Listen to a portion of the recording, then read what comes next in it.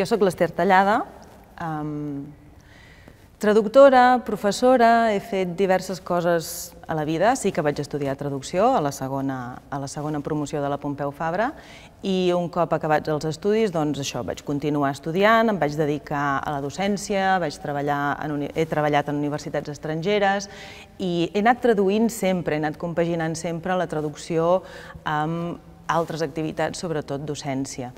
I, i últimament, però només últimament, m'he especialitzat més, últim, vaja, últimament, potser, 15, potser ja fa 15 anys, no? m'he especialitzat més, més en, en traducció literària. Doncs jo sóc la Blanca Àries i sóc professora de tenure track al Departament de Traducció i Ciències del Llenguatge. Vaig començar, bueno, vaig estudiar la llicenciatura, vaig ser l'últim any de llicenciatura de Traducció i Interpretació a, en aquesta casa també, i havia fet el doctorat aquí, especialitzat en sèries de televisió i subtitulació. I m'he reincorporat a la Pompeu Fabra amb, amb aquest perfil tenure track l'any 2020. I el motiu per dedicar-me principalment a la recerca ara és que mm, quan acabava la llicenciatura hi va haver una oportunitat de tenir unes beques de col·laboració per començar a fer recerca i recordo que vaig anar a parar al grup Infolex de l'Institut Universitari de Lingüística Aplicada i res, em va, em va interessar tant la, la recerca i la lexicografia que he continuat fins avui. Com concebo la traducció? Um, jo volia fer Belles Arts i um, per mi traduir és com una activitat molt artística, molt creativa. He tingut la sort també que les coses que m'han proposat de traduir m'han requerit molta creativitat, no? però tal com jo veig la feina de traducció, tinc la sensació, moltes vegades quan treballo, tinc la sensació de ser una escultora. Realment, eh, per mi és una, una activitat com molt plàstica, no? Una escultora que té un model, eh, un model que suscita unes determinades eh, sensacions i reaccions en el qui l'observa, Uh, tinc una matèria primera, que pot ser un fang, pot ser una pedra, pot ser el que sigui, que en aquest cas, en el cas de la traducció, seria la llengua, i jo la masego com a escultora, jo la masego i l'estiro i, li imprimeixo unes um, textures determinades o i creo uns certs efectes, unes deformacions, etc, perquè després la peça acabada susciti una mica el mateix que suscitava l'original. No? Per mi, un aspecte imprescindible és dominar tots els registres de la llengua, i és exactament sí. el que dius, no? O sigui, jugar amb aquestes textures, jo sempre als estudiants de traducció els dic, heu de pensar sempre quina és la diferència entre vosaltres i una persona del carrer que és usuària de la llengua i que n'opina constantment. Vosaltres sou les persones en formació en aquest àmbit i, i s'ha de notar, no? O sigui, heu de saber argumentar les solucions de traducció que proposeu si us acabeu convertint en assessors lingüístics no? i no traductors, que és una altra sortida laboral sí. possible. Sí. Heu de saber explicar per què. Si un client us diu no, però és que aquesta paraula és correcta i me l'has corregida, heu, heu de saber dir per què, no? Totalment, I per sí. mi hi ha dues paraules bàsiques que tenen a veure amb això que has dit de com es rep l'escultura, no? que són l'acceptabilitat i l'adequació. Al final jo crec que estaràs d'acord amb mi que els traductors acabem sent mediadors culturals constantment, no? Per posar un exemple una mica menys eh, típic, podem, et puc explicar un cas d'audiodescripció. És un exemple que, que va compartir amb mi una audiodescriptora molt productiva a Catalunya, que es diu Carme Guillamont, em va explicar que en un cas, eh, en un espai molt petit, havia un espai molt petit per introduir-hi una unitat d'audiodescripció, havia d'explicar de, que un personatge que era musulmà duia un collaret que, que era molt semblant a un rosari cristià, però el, el personatge no era cristià. Aleshores, ella diu, sé que no és exacte, no? però tinc dos segons potser per introduir una explicació. La idea, no? La primera vegada diré el terme, que no vull dir malament, però crec que era tasfi o misbaha, una d'aquestes dues. Llavors diu que la primera vegada va dir du un, va dir el terme, que era l'adequat al, al context, i va dir que sembla un rosari cristià. Llavors ja totes les següents vegades anava transmetent el, el terme específic de, del, de la pel·lícula en qüestió. De fet, m'estàs fent pensar, no, no ho havia pensat mai això, de fet no ho havia relacionat mai això, però eh, moltes vegades quan em trobo, esclar, jo faig, jo és traducció escrita, evidentment, i sobretot literària, no? i et trobes, evidentment, amb, amb molts referents culturals eh, que no pots traduir, per exemple. Quan traduir el Robinson Crusoe, que és una obra um, uh, o sigui, que, que, té un, que està escrit amb un cert estil periodístic, no? molt minuciós. El, el, el senyor Defoe va voler, era un diari, el senyor Defoe va voler deixar tots els detalls ben, um, ben consignats no? en el seu diari. Llavors tenia la mania de mesurar-ho tot. Però, és clar, és un llibre escrit el 1719. El 1719 um, no fèiem servir... bueno, 1719 i per un mariner anglès. I llavors, aquest senyor no feia servir, evidentment, ni les unitats estàndards actuals, el sistema mètric, ni les unitats estàndards britàniques. Feia servir les unitats prèvies. Llavors, en aquest cas, efectivament, hi ha, hi ha tota aquesta transferència, o sigui, aquesta, sí, vaig haver de fer aquesta transferència d'una cultura a l'altra, però curiosament no va ser per distància geogràfica, sinó per distància temporal. No? Un canvi immens que hi ha hagut és eh, les possibilitats que et donen avui dia les noves tecnologies. El canvi que va suposar tenir aquella pantalleta a casa on de fet ho pots trobar tot, i superràpid a més a més, que és que a més a més havies d'anar passant pàgines, eh, ordre alfabètic i tota la història, no? El canvi revolucionari que va ser això a l'hora de treballar, és, és, vaja, jo penso que és, que és, és gairebé inimaginable, saps? Sí, per mi ara un gran tema és aconseguir que, o sigui, que els estudiants, i ara dic els estudiants perquè parlem dels anys que han passat a la Facultat de Traducció, no? però desenvolupar un criteri per saber quines fonts són més fiables ah, que, sí. que d'altres, perquè precisament tenim tantíssima informació a l'abast no? que gairebé ara la dificultat ve per aquí eh, jo diria. El grau de traducció, jo noto que han fet un... o sigui, que s'han adaptat als plans, no? eh, moltíssim per donar resposta a, aquesta nova situació de, de presència de les tecnologies en, en la nostra vida, no? de, de tothom, no només dels traductors. Clar. I, per exemple, sé que, que l'assignatura introductòria a la universitat, que abans es deia introducció a la universitat, de fet, ara tant el grau de llengües aplicades com de traducció és a la, la universitat i els recursos informàtics bàsics ah, per la traducció. Això ja ho tens des del primer trimestre de primer. Després es fa l'assignatura de tecnologies de la traducció, que és, és divertit pensar que abans es deia noves tecnologies i ara ja li han tret el Clar, ja no són noves, no? Perquè no són noves. De fet, són, com estem dient, indispensables. No? I, I una cosa que m'agrada molt és que s'aposta molt per software d'accés lliure sí. i crec que això en una universitat pública està molt bé perquè, en el fons, el que han d'aprendre els futurs professionals és què li poden demanar a la màquina. I, I si tu desenvolupes unes estratègies per anar sabent en cada moment què, què em podria oferir un software de traducció, després el client que sigui potser et donarà un software completament privat i inaccessible per una universitat eh, i ja t'hi adaptaràs, o sigui, ja, ja sabràs on anar a buscar o, sí. què, o què pots demanar, no? És fantàstic això, de fet, et sento parlar de tot això i penso, carai, és que nosaltres, a la meva època, eh, teníem introducció a la informàtica o alguna així, em sembla que es deia, una cosa així, però que ens van ensenyar a fer servir el Word i a fer taules i... Clar, imagina't en què fa 30 anys ja, no? Però en 30 anys com ha canviat superradicalment el que, el que et permeten fer les, les eines informàtiques. I això porta una mica al paper de la universitat, no? Mm -hmm. um, Me'n recordo molt que quan, quan jo vaig estudiar traducció pensava hosti, és que jo vull aprendre a traduir, no, no em feu estudiar totes aquestes altres coses, perquè a la meva època, recordo que teníem un pla d'estudis, um, bueno, mastodòntic, o sigui, um, me'n recordo que fèiem 10, 12, 14 assignatures cada trimestre, um, i llavors jo vaig estudiar dret, um, economia, lingüística, teories de la traducció, o sigui, teníem una sèrie de moltíssima mm -hmm. matèria um, teòrica,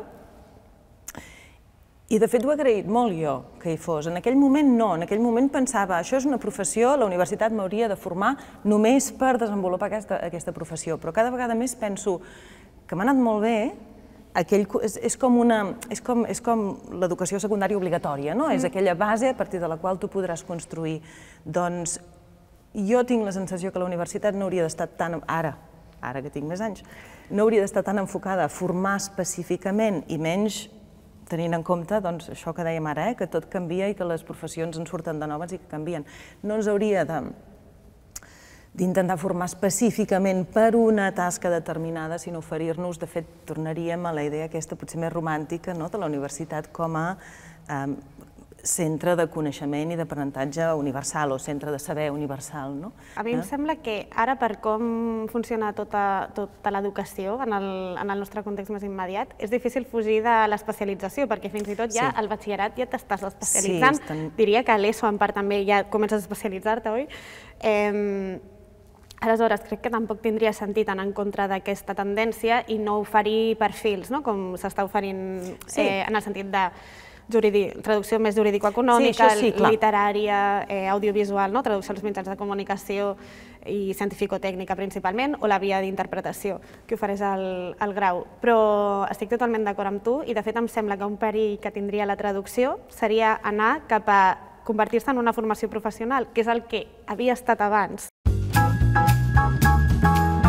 Una idea que em ronda sovint pel cap és, um, és a dir, el que, suposa la, el que suposa el fet de tenir aquestes xarxes socials amb, amb un d'abast tan ampli respecte de, també d'anys anteriors. No? Tu tenies això, una, un àmbit relativament petit en comparació amb el que tenim ara. No?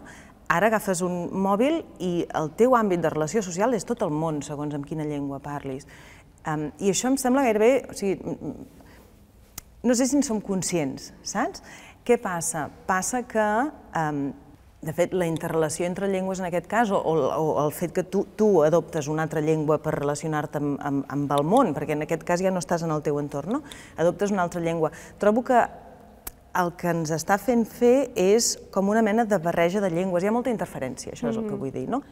Clar, ara fem servir llenguatge escrit en contextos en què mm. abans no el fèiem Era, servir. No. I això suposo que fa que, sí, abans potser no, t'aturaves a, a pensar com escriuries una cosa, ara la immediatesa et fa, sí. et fa no pensar-hi tant. Però jo sí que voldria dir a favor no, de, de les xarxes socials, jo abans he dit que m'he especialitzat en la part d'accessibilitat, uh -huh. i a mi una cosa que m'apassiona de les xarxes és que fan molt més accessible eh, accessibles moltes activitats. No? Per exemple, hi ha moltes formes ara també d'oferir, per exemple, a Instagram, no? eh, històries amb l'audiodescripció, o sigui, el text alternatiu de les imatges, no? aquesta petita descripció que pots posar a qualsevol document digital o lloc web i eh, dir a una persona cega o amb baixa visió quin és el contingut de la imatge. Clar, tot això, en realitat, ho tenim perquè ha explotat el, el tema de sí, xarxes sí. I, i això és positiu també. I el que deies de l'escrit, és a dir, el fet que, per exemple, amb un WhatsApp ara mateix um, estem escrivint l'oral, en el fons, um, que continua sent llenguatge escrit, però és molt més descuidat, és, és, és, és molt espontani i, a més a més, com, com molt procedent de l'oral, jo sí que trobo que té, sí, sí que m'he donat que té una certa repercussió, si més no, um, jo, ara, jo ara faig classes de secundària també, uh -huh. i rebo moltes vegades correus d'alumnes que parlen com si m'enviessin un WhatsApp, Ai, sí, o sigui, sí, que m'escriuen sí. un correu com si m'estiguessin enviant un WhatsApp. I penses, no, això ens ho haurem de mirar, ara a la pròxima classe jo us faré com s'escriu un correu. Però encara que, que els expliquis com s'escriu un correu és molt fàcil, així que tens un teclat a les mans, oblidar una mica allò de la netiqueta, no? de, de, de les formes una mica. Cuidar les formes els hi costa una mica, trobo, el jovent. Últimament hi ha una cosa que, um, que celebro molt, vull dir que és, que és molt positiva en, en, entre aquells que ens dediquem exclusivament a la traducció, diríem, i sobretot a la traducció literària, i és que um, ens veuen més i trobo que um, poder inserir no, aquesta, aquesta professió en, um, en això, en la vida cultural uh, local d'una un, biblioteca o d'una llibreria uh, és un pas endavant per la professió i pels que ens hi dediquem. No? Pel que fa a sortides professionals, no? si has fet uns estudis doncs, de traducció, de ciències del llenguatge o el grau conjunt, és igual, Um, esclar, avui dia, i més cap allà on anem, això que dèiem ara de les, de les xarxes socials, la comunicació, jo tinc la sensació que la comunicació, i llavors la llengua és bàsica per comunicar-se, um, la comunicació està present en pràcticament, no diré en tots, evidentment, no en totes les feines, però en moltíssimes feines. I més, tinc la sensació, com, com més va, més, no? Um, per exemple, no sé, uh, a banda de traduir, pots fer, segurament et pots especialitzar, pots treballar en, en tota la cadena de producció d'un llibre, no? Et pots dedicar, doncs, no sé, mira, a màrqueting i comunicació, aquesta és una altra, pots acabar segurament, ja sé que necessites un grau específic, no? però pots acabar en mitjans de comunicació, sempre tens aquesta base de formació lingüística que t'hi ajuda. Um, pots acabar sent professor, com m'ha passat a mi, no? Um, pots acabar fent recerca, mm -hmm. i segurament que tu se te n'acudeixen molts més. Jo i afegiria, no ho sé, per, per dir-ne alguns més, no? Dins de l'àmbit de la lingüística, per exemple, totes les persones que es dediquen, no, no, no són tantíssimes, però cada cop està explotant més aquest àmbit, a la lingüística forense, no?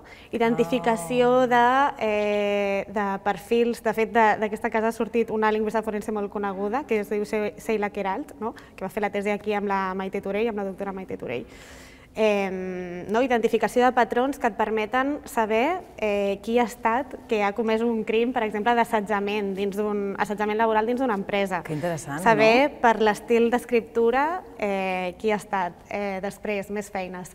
Per exemple, totes les grans empreses tecnològiques, jo crec que no cal que, digui, que, que em digui els noms, tenen figures ara que es diuen de fet, el terme és en anglès, eh, és anotador, però vindria a ser analitzador, i el que, el que fan aquestes persones és analitzar contextos justament d'interacció, per exemple, dels robots. Vale? Puc dir els noms dels robots i cadascú que sàpiga de quina empresa són, wow. no? que Siri, Alexa, eh, Cortana, etc. No? Doncs hi ha mm, equips nombros, molt nombrosos no? que mm, estan formats pràcticament per lingüistes i persones formades en literatura també, doncs aquestes persones es dediquen a analitzar la resposta del robot. I, no sé, més feines, és que jo crec que hi ha moltíssimes. Tècnic d'accessibilitat, no? Un tècnic d'accessibilitat comunicativa és una persona que adapta textos a lectura fàcil Clar, no hem, sí, o a llenguatge fàcil de comprendre. Ara també es parla del llenguatge ciutadà. Els ajuntaments de, de tot arreu busquen persones que sàpiguen llenguatge fàcil de comprendre. Un altre aspecte que ha canviat molt per mi és el tipus de recerca que, que es pot fer en, en l'àmbit de les llengües i, i de la traducció. No? I bé, el, el meu àmbit en concret, la, la part d'accessibilitat, i bé, jo vinc de la traducció audiovisual. La traducció audiovisual va explotar sobretot a partir dels anys 90, de, de, uh -huh mitjans 90 perquè se solia pensar que era com la, la, la germana lletja, no? que, o, o menys important, no? la que feia més gràcia perquè la veies a la televisió però que no mereixia eh, no? L'atenció del món acadèmic. Clar, tampoc hi havia el boom audiovisual que hi ha ara, no? Mm -hmm. I allò que dèiem abans. Digues, digues. I, no, i ha canviat moltíssim què, què és el que s'estudia, no? Per exemple, jo la meva tesi la vaig fer amb subtitulacions de DVDs. Això ara ja no té cap sentit, clar, no? Clar. O sigui, ara el que, el que es mira és com subtitulem a les plataformes, com fan servir plantilles als traductors, que són aquests documents que fins i tot t'avisen d'aquestes bromes interculturals, no? I, I és un document bàsic que es passa a tots els traductors audiovisuals de totes les llengües amb què treballa la plataforma i a partir d'allà, amb el mateix pautatge, es van generant subtítols, no? Uh -huh. per exemple, o, o es podrien generar també traduccions per doblatge. I dins de la valoració dels productes finals, un tipus de recerca que, que està també molt, molt molt vigent, és la recepció amb els usuaris. No? Què, què pensen els usuaris finals del producte que hem fet? Això en accessibilitat és bàsic. Surten tesis doctorals i projectes eh, que tenen molt d'impacte social des de diferents vessants. No? Per exemple, hi ha un projecte a l'Institut de Lingüística Aplicada que ha portat sobretot la doctora Rosa Estupà i sé que una doctoranda ja doctora, que es diu Laia Vidal Sabanés, va fer un projecte que era de com facilitar la comunicació entre pacients de càncer i els metges perquè la terminologia fos més accessible. No? Per exemple, a mi sí que em fa certa por per això, eh? les màquines, no certa por, dir, ens anirem adaptant a tot i, i, i ja ens en sortirem, i alabat sigui Déu, no? però el grau de sofisticació que estan arribant certes, diguen, aplicacions o... Um, sí que trobo que és, eh, és espectacular. Que ens acabin prenent la feina?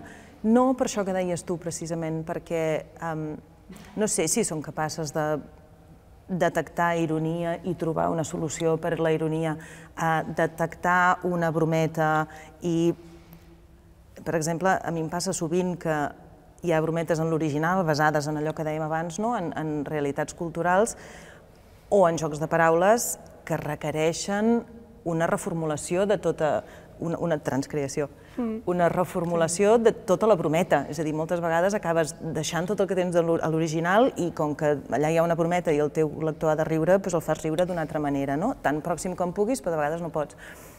Llavors, suposo que hi ha moltes coses que les màquines efectivament trigaran molt a fer, però també n'hi ha algunes que ja, ja, ja les estan fent, eh?